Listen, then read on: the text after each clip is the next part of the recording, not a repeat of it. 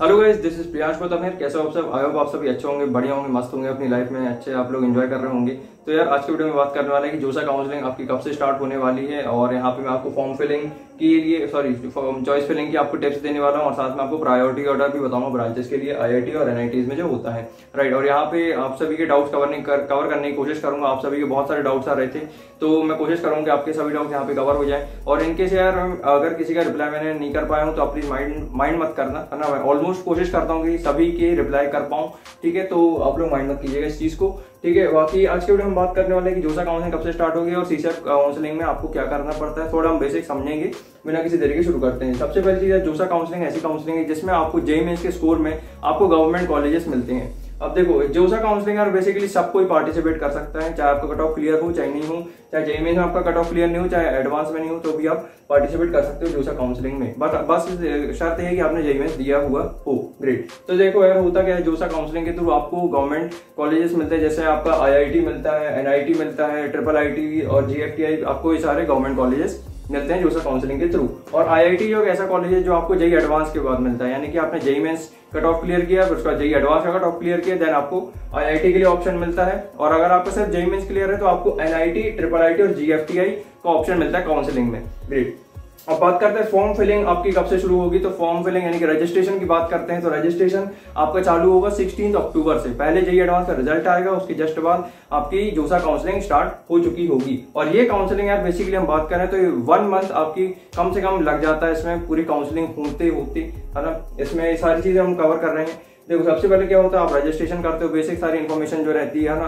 Registration के बाद आप उसमें फिर चॉइस फिल करते हो। चॉइस फिल मतलब क्या? चॉइस फिल मतलब यानी कि आप अपनी कॉलेज ब्रांच अच्छे से आपकी रैंक के अकॉर्डिंग सिलेक्ट करते हो और चॉइस को फिल कर देते हो। अभी इस पे आएँगे कि चॉइस को कैसे फिल करते हैं, किस किस तरीके से, ठीक है? अभी यहाँ पे आपको बेसिक चीज़ बता रहा हूँ। अब देखो, क्या होता है, जैसे मान लो आपने चॉइस फिल कर दी और फ़र्स्ट राउंड का सीट अलॉटमेंट आपका रिज़ल्ट आया, उसमें उसमें आपको पता चलेगा कि आपको सीट मिली या नहीं मिली राइट उससे आपको ये चीज़ पता चल जाएगी। उसके बाद यार ऑप्शन रहता है कि आपको स्लाइड फ्लोट फ्रीज ये तीन ऑप्शन स्लाइड फ्लोट और फ्रीज का मतलब क्या होता है? बेसिकली स्लाइड का मतलब ये होता है कि आपका कॉलेज सेम है, आप ब्रांच चेंज करना चाहते हो। राइट कॉलेज आपने सेम रखा हुआ ब्रांच आपको, लेकिन अपग्रेड करना है, इसलिए आप स्लाइड का ऑप्शन दबा सकते हो। यानी कि आप फर्दर फर्दर राउंड तक आप पार्टिसिपेट करना चाहते हो काउंसलिंग में। राइट टोटल कितने राउंड होते हैं? टोटल सिक्स राउंड तक जोसा की काउंसलिंग होती है। राइट और उसके अलावा स्लाइड के अलावा दूसरा ऑप्शन होता है फ्लूट का। मान लो आपकी रैंक बहुत बहुत आपकी कम मतलब बहुत ज़्यादा रैंक आई है आपकी। मान लो साठ हज़ार पचास हज़ार इस टाइप से मतलब आपकी अगर रैंक आई है तो आपको फ्लोट दबाना चाहिए। फ्लोट का मतलब क्या है? जैसे में आप अपनी कॉलेज और ब्रांच दोनों चेंज कर सकते हो। राइट अभी आएँगे चॉइस फिलिंग पे आएँगे टेंशन मतलब और फ्रीज का मतलब क्या होता है कि आपको सीट मिल गई। है ना सीट अलॉटमेंट का वो आया।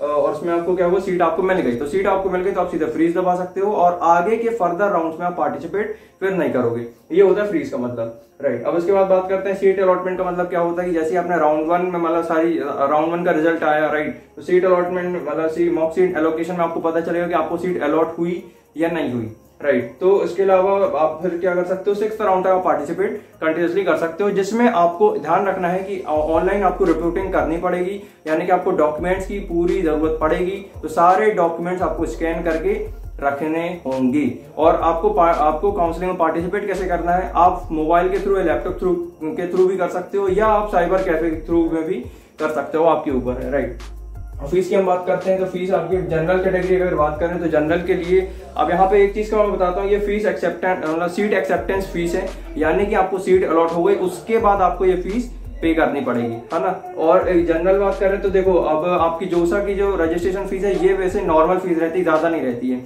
अब जो भी होगी, जैसे ही ब्रोशर आएगा तो आपको बता दूँगा ऑफिशियली बाकी इतना समझो कि जैसे ही आपको मान लो सीट अलॉट हो जाती है तो सीट अलॉट होने के बाद आपको जन, अगर आप जनरल कैटेगरी का तो आपको थर्टी फाइव थाउज़ेंड आपको पे करना पड़ेगा। और ये थर्टी फाइव थाउज़ेंड आपकी फ़र्स्ट सेमेस्टर में फ़ीस में आपका रिड्यूस कर दिया जाएगा। यानी कि आपके जो थर्टी फाइव थाउज़ेंड आप जो पे करोगे ये आपकी कॉलेज की फ़ीस में इंक्लूड ऑलरेडी कर दिए जाएँगे। ग्रेड ठीक है और अगर कैटेगरी की बात करें S T S C OBC EW S तो आपको सर फिफ्टीन थाउज़ेंड पे करनी पड़ेगी। राइट कोई भी आपको मिलता है एनआईटी ट्रिपल आईटी वगैरह तो आपको फिफ्टीन थाउज़ेंड पे करनी पड़ेगी, ठीक है? और एक बात ध्यान रखना, जोसा की जो काउंसलिंग होती है, इसमें सिक्स राउंड तक सिर्फ़ आईआईटी काउंसलिंग मतलब सिर्फ़ आईआईटी आता है सी सेवन राउंड में आईआईटी पार्टिसिपेट नहीं करता, बस इस चीज़ का आपको ध्यान रखना है। अब ध्यान रखना है इस चीज़ का कि जैसे ही मतलब जोसा की सिक्स राउंड तक काउंसलिंग हो जाती है तो उसके बाद आपको फ़िज़िकल वेरिफिकेशन के लिए जो कॉलेज आपको मिल चुका है, आपको उस कॉलेज में जाना पड़ेगा, सारे डॉक्यूमेंट आपको वेरीफाई करवाने पड़ेंगे और फ़ीस आपको देनी पड़ेगी। तो तो फाइनली आपका एडमिशन कहला जाएगा। राइट तो ये था जो सर सिक्स राउंड था। उसके बाद हम बात करते हैं, मान लो आपको कॉलेज नहीं मिला तो आपको क्या करना पड़ेगा? सिक्स राउंड तक आपने पार्टिसिपेट किया, आपको कॉलेज नहीं मिला तो आपको फिर सी राउंड में पार्टिसिपेट करना चाहिए। ठीक है? तो आपको सी राउंड में पार्टिसिपेट करना चाहिए।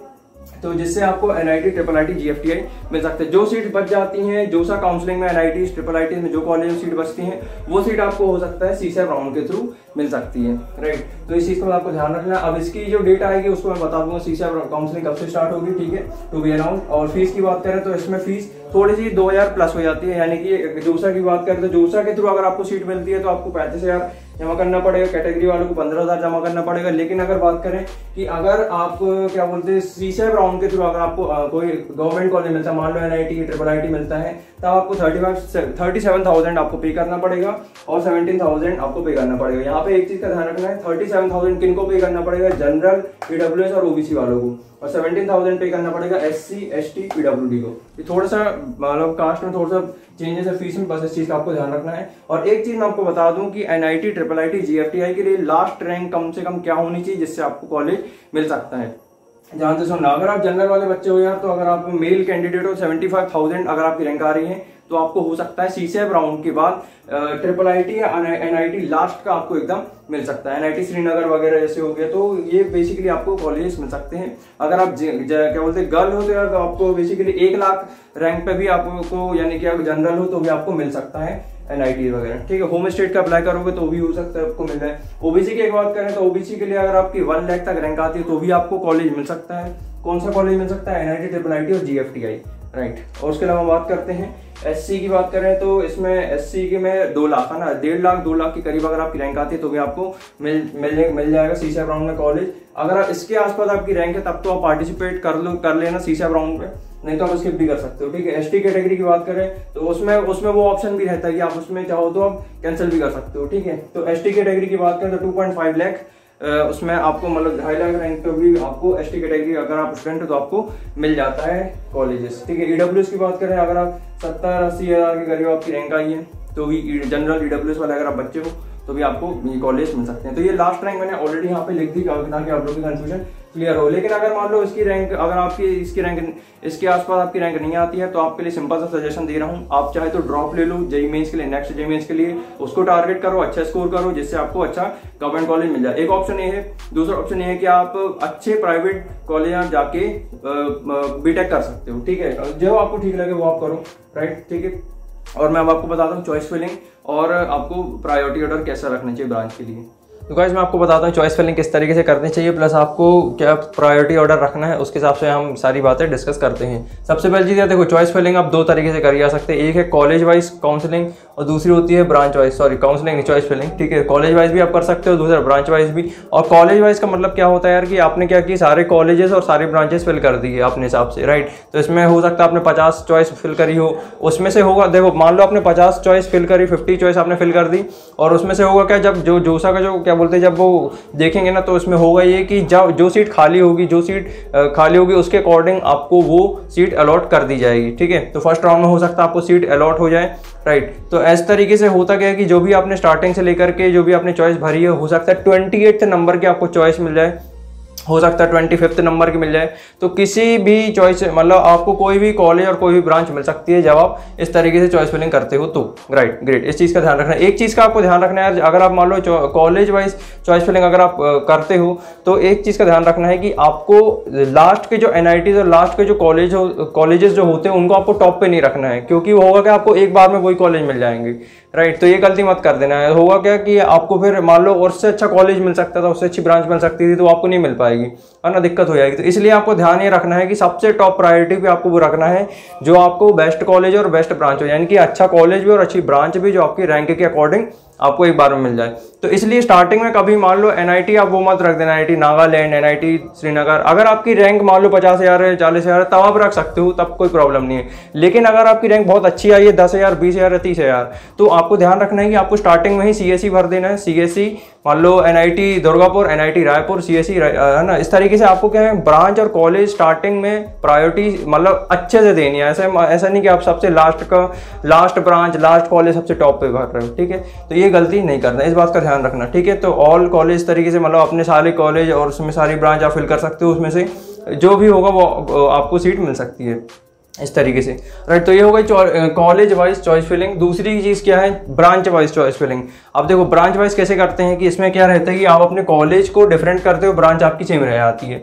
कॉलेज डिफरेंट का मतलब क्या है? मान लो एनआईटी देखो एग्ज़ाम्पल के थ्रू समझाता हूँ। एग्ज़ाम्पल के through N I T Trichy N I T Silchar N I T Warangal N I T Surathkal है ना एनआईटी जयपुर। इस तरीके से क्या है, आप अपनी कॉलेज की क्या किया आपने? एनआईटी मतलब अलग different different NIT different different triple I different different GFTI आप रख सकते हो और सब में एक चीज़ आप कॉमन रखोगे ब्रांच यानी कि कॉलेज सब अलग अलग और ब्रांच सब में सेम या मान लो आपको ईसी e तो आपको ईसी e आपने लिया, या आपको सीएससी e पसंद तो आपने सीएससी लिया, या आपको मैकेनिकल पसंद तो आपने मैकेनिकल लिया, और अगर आपकी रैंक बहुत पचास हज़ार, साठ हज़ार पे आई है या उससे ज़्यादा आई है तो आप क्या कर सकते हो? लास्ट ब्रांच यानी मान लो केमिकल हो गया या इंडस्ट्रियल प्रोडक्शन इंजीनियरिंग हो गया, वो आप सारी ब्रांचेस को फिल कर सकते हो. यानी कि कॉलेज डिफरेंट कॉलेज कॉलेज आपके डिफरेंट होंगे ब्रांच आपकी सेम होगी. इसको कहते हैं ब्रांच वाइज चॉइस फिलिंग तो अब आपको क्या करना है? प्रायोरिटी बनानी है, यानी कि एक आपको एक बनाना है लिस्ट कौन सा कॉलेज और कौन सी ब्रांच ठीक है? तो उस हिसाब से आपको अपनी रैंक के अकॉर्डिंग अच्छी कॉलेज और अच्छी ब्रांच आपको चूज़ कर लेना है। ग्रेट तो जैसे अब बात करते हैं कि आपको इस इस तरीके से मैंने आपको बता दिया, ठीक है? स्टार्टिंग आपको क्या करना है? अच्छा कॉलेज प्लस अच्छी ब्रांच करना है, ये बात ध्यान रखना। प्रायोरिटी ऑर्डर की बात करें यार तो देखो, सबसे पहले प्रायोरिटी ऑर्डर की बात करते हैं तो सबसे पहले आपको आता है सीएससी ठीक है सी देखो, ऐसी ब्रांच है जिसमें जितने भी कंपनीज़ आती हैं एन में, चाहे आई में, ठीक है, सबसे पहले सी वालों, बंदों को मतलब ज़्यादा उसमें अलाउड रहता है। उसके अलावा आईटी में भी कोई मतलब कोई बहुत बड़ा डिफरेंस नहीं है। आईटी और सी ऑलमोस्ट एक ही थोड़ा बहुत डिफरेंस रहता है, बाकी सिलेबस ऑलमोस्ट सेम रहता है। इसलिए जितने सी के बंदे कंपनी प्लेसमेंट में बैठते हैं, उतने आई आई के भी बैठते हैं। ईसी वाले बंदे भी बैठते हैं, ठीक है ई हो गई ई थोड़ी सी टफेस्ट ब्रांच होती है सारी, की अगर बात करें सब में ईसी थोड़ी सी टफेस्ट मानी जाती है, ठीक है। अगर लेकिन अगर आपको इंटरेस्ट है इलेक्ट्रॉनिक्स वगैरह पढ़ने में तो आप ईसी डेफिनेटली ले सकते हो। ई ई ई है ना ट्रिपल ई यानी कि इलेक्ट्रिकल ब्रांच है ये तो ये भी आप ले सकते हो, ये भी, है ना, यानी कि ये एक एक करके, है ना, यानी पहले सी e आएगा, फिर आई टी फिर ई e फिर आपका ट्रिपल ई आ गया, फिर उसके बाद मान लो आपको फिजिक्स पढ़ने बहुत ज़्यादा इंटरेस्ट है फिजिक्स पढ़ना, आपको फेवरेट सब्जेक्ट है तो आप मैकेनिकल ले सकते हो, ठीक है मैकेनिकल मैकेनिकल इंजीनियरिंग भी आप कर सकते हो, उसके अलावा मान लो अगर आपको कुछ कंस्ट्रक्शन का काम करने में मज़ा आता है, ठीक है ठीक है, ठेकेदारी वगैरह। तो सिविल ब्रांच आप ले सकते हो, या फिर अगर आपको सिविल इंजीनियर बनना है तो उसके लिए आपको सिविल ब्रांच लेनी चाहिए। या आपको अगर गवर्नमेंट जॉब की तैयारी करना है तो सबसे बेस्ट ब्रांच आपके लिए सिविल हो सकती है, चाहे आप प्राइवेट कॉलेज में चाहे आप गवर्नमेंट कॉलेज में हो। इसके लिए आप सिविल आप ले सकते हो। सेवन्थ की अगर हम बात करें तो सेवन्थ आपकी हो जाती है केमिकल ब्रांच। मान लो अगर आपकी रैंक एक लाख पचास हज़ार या फिर पचास हज़ार समथिंग इतनी रैंक आपकी आई है तो आपको केमिकल ब्रांचेस मिल सकती है राइट और उसके अलावा ये सबसे क्या होती है लास्ट ब्रांचेस होती है, जिनमें क्या होती है सीट बचती है। इसलिए इनमें आपको सीट मिलना आसान हो जाता है। सी से राउंड तक आते आते, ठीक है? और बायोटेक्नोलॉजी और उसके अलावा, ठीक है बायोटेक्नोलॉजी आपको मिल सकती है। और उसके अलावा इंडस्ट्रियल एंड प्रोडक्शन ठीक है? ये सारी लास्ट ब्रांचेस होते हैं। तो ये मैंने आपको प्रायोरिटी ऑर्डर बता दी N I T triple I T I I T G F T I के लिए। तो इसका आपको खास ध्यान रखना है, अपनी रैंक के हिसाब से आपको ब्रांच और कॉलेज अच्छे से चूज़ कर लेना है। ठीक है यार तो बस ये कुछ मेरे को आपको सारी इन्फॉर्मेशन देनी थी। आई होप आपकी मदद कर पाए होंगे डॉक्यूमेंट में कवर करूँगा कि नेक्स्ट वीडियो में कवर कर लूँ। बाकी ऑलमोस्ट मैं बता दूँगा। ठीक है, इसी के साथ आज की वीडियो खत्म करते हैं। होप आपको पसंद आएगा वीडियो तो ज़रूर लाइक करो। और मेक श्योर अगर आपने अभी सब्सक्राइब नहीं किए हुए चैनल को तो जल्दी सब्सक्राइब करो। इस तरीके से आप मेरे को प्यार दो सपोर्ट दो, ताकि मैं आपके लिए रेगुलर और क्वालिटी कंटेंट आपके लिए इस तरीके से लेके आता रहूँ और आपकी इस तरह से हेल्प करता रहूँ। तब तक के लिए wish you all the very best love you all take care Baba thank you so much और कमेंट सेक्शन में आप अपना डाउट्स पूछ सकते हैं। Wish you all love you all take care Baba thank you so much